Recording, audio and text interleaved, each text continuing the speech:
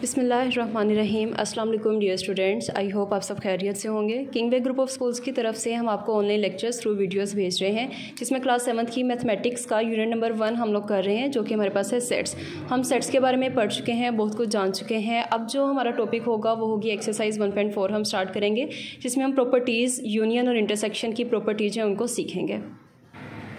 So dear students आज हम लोग स्टार्ट करेंगे एक्सरसाइज 1.4 जिसमें हम कुछ क्वेश्चंस करेंगे, कुछ प्रॉपर्टीज़ होंगी यूनियन एंड इंटरसेक्शन की। इसमें हमें सेट्स दिए गए हैं A B and C set हमें दिए गए हैं। सबसे फ़र्स्ट क्वेश्चन जो है, उसमें हमने प्रूव करना है कि ए इंटरसेक्शन बी इक्वल है बी इंटरसेक्शन ए के।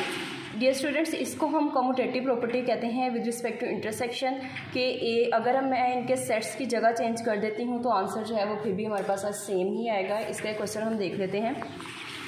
हमें क्वेश्चन में दिया गया है। हमें सेट्स दिए गए हैं और हमने प्रूव करना है कि ए इंटरसेक्शन बी जो है वो इक्वल है बी इंटरसेक्शन ए के।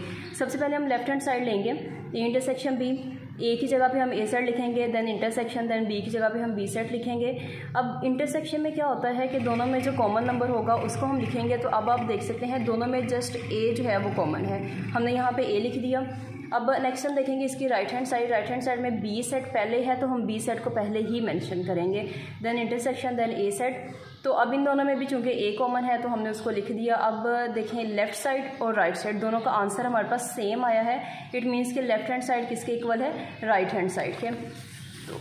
सेम यहाँ पे अब ये आपको यूनियन दिया गया है। यूनियन में अब आपने क्या करना है कि सेट्स के तमाम, दोनों सेट्स के एलिमेंट्स को हम क्या करते हैं? कंबाइन करके लिख देते हैं। और जो रिपीट होते हैं, उनको हम एक ही बार में लिखते हैं। देन ये भी हमारे पास यूनियन की प्रॉपर्टी है।